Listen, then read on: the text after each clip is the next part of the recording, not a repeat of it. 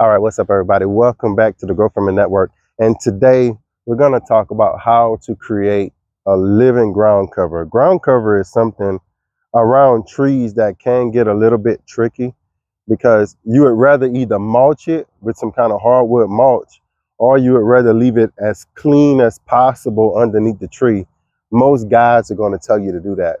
We've been experimenting with the comfrey ground cover and the crimson clover and what we're seeing is basically just the way we thought it out, just the way um, a lot of the research has actually uh, helped us implement.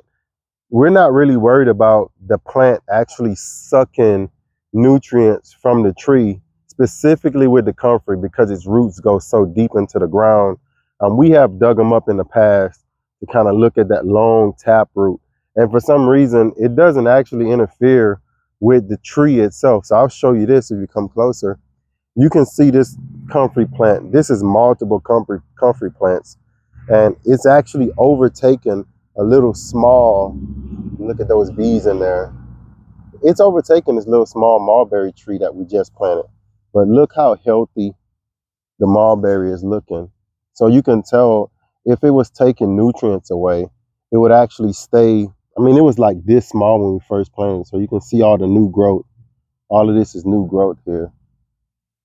The good thing about a, a ground cover is that, number one, the bees love it. So if you had a mulch down, you would not be feeding your ecosystem because you just have mulch. Um, also, living ground covers are beautiful.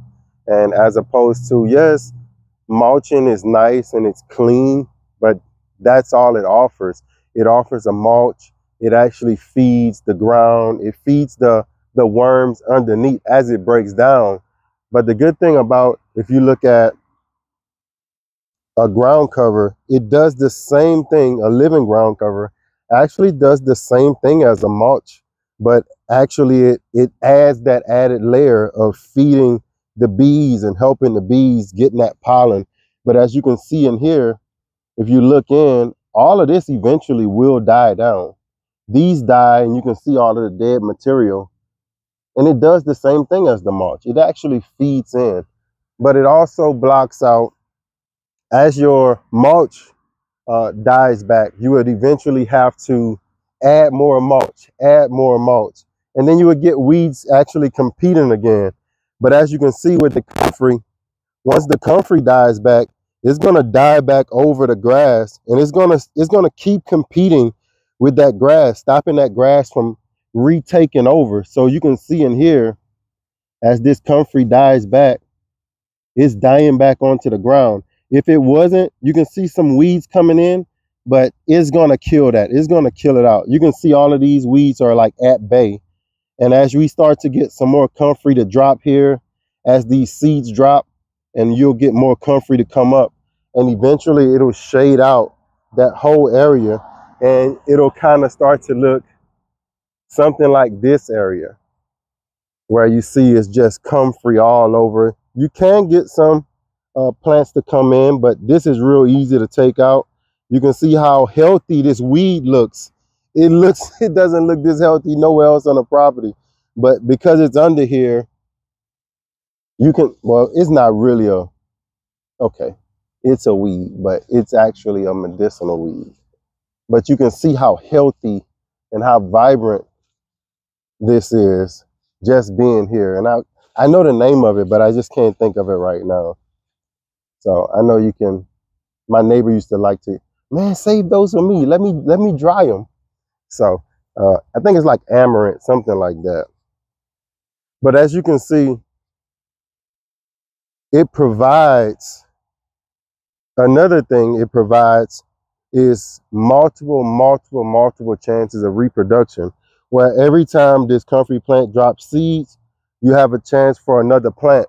As opposed to wood chip drop, those kind of companies, once they come maybe one time, drop your wood chips, you got to find them again. You got to call them again. You got to beg for them again. As opposed to this, once you set up a system like this in place, you're not, you don't have to call this comfrey plant and say, hey, I need some more seeds or I need some more plants. As these plants die back, more plants will come up. Let me show you here. You can see here.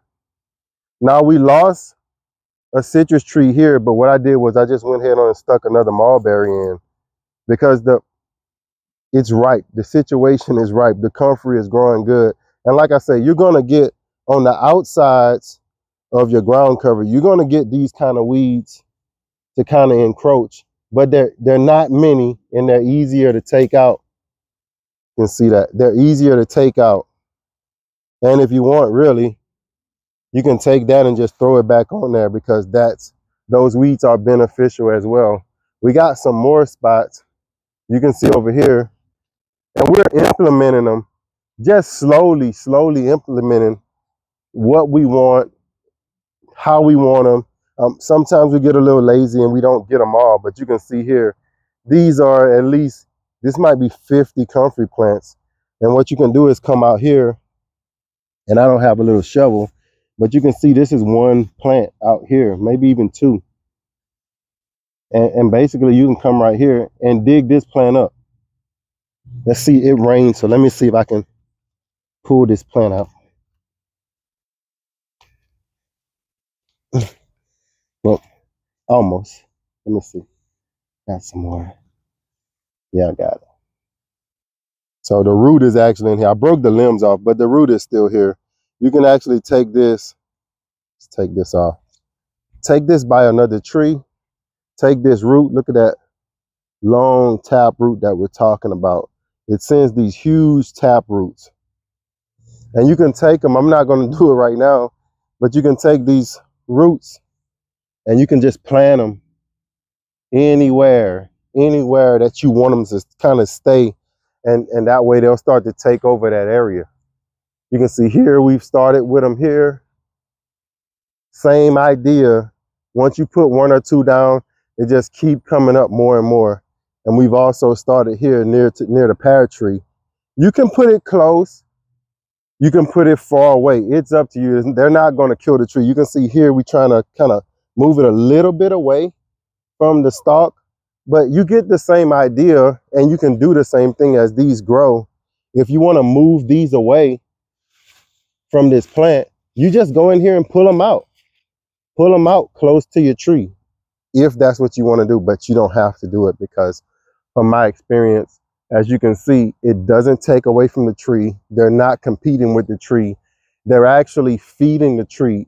If they are competing with the tree, whatever they're taking away from the root system, by sheer mass of biomass and, and nutrients, they're putting that back every time they die down into the soil. They're actually putting that back into the ground. And so if you want to know how to create such a ground cover it's real easy. Find you some comfrey seeds.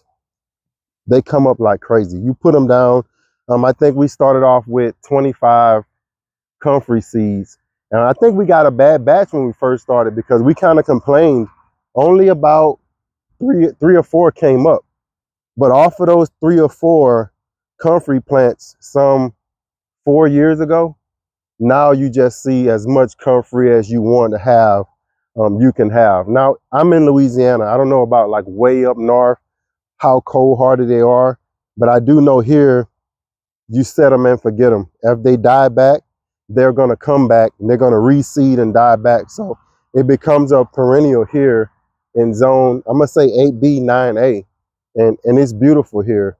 So you make the choice whether you want a, a dead mulching type of ground cover where if you want some color, you can actually uh, buy that colored mulch. I don't really recommend it. But here you can get the beauty of these deep dark purples. It's beautiful colors. And I think the bees would love it. Your ecosystem would love it as well. So give it a try. This is just a little video, real short video on, on some of the benefits and some of the things that, that comfrey can do for you, right? It's beautiful. Um, it's weed preventing. It, it feeds the soil. It's shading.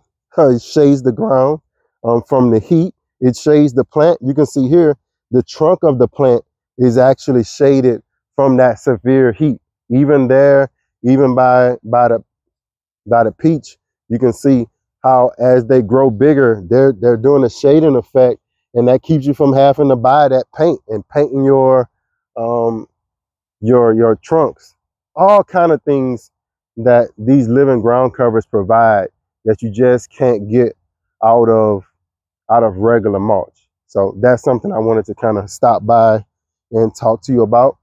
Still, still we use mulch. We use mulch in a lot of different areas. So this is not a video uh, uh, against mulch at all because we actually do use mulch.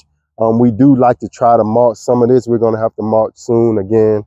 There's a lot of applications that we do like to use mulch. Um, but as far as with our fruit trees, if I, I mean, if I had to do it all over again, I would have had comfrey by each one of these when I planted them. Uh, so it's beautiful. I mean, even if, and then the last thing is if you're running out of feed and you got chickens, the chickens will love these. So you even got a food source for some of the animals. I don't know about goats and cows, but I know for sure chickens, chickens just love these. So thank y'all for watching the Grow Family Network. I hope this was a was good. I hope it was informative, and I hope you learned something from today's video. Thank you for watching, and as always, grow, grow, grow. Peace.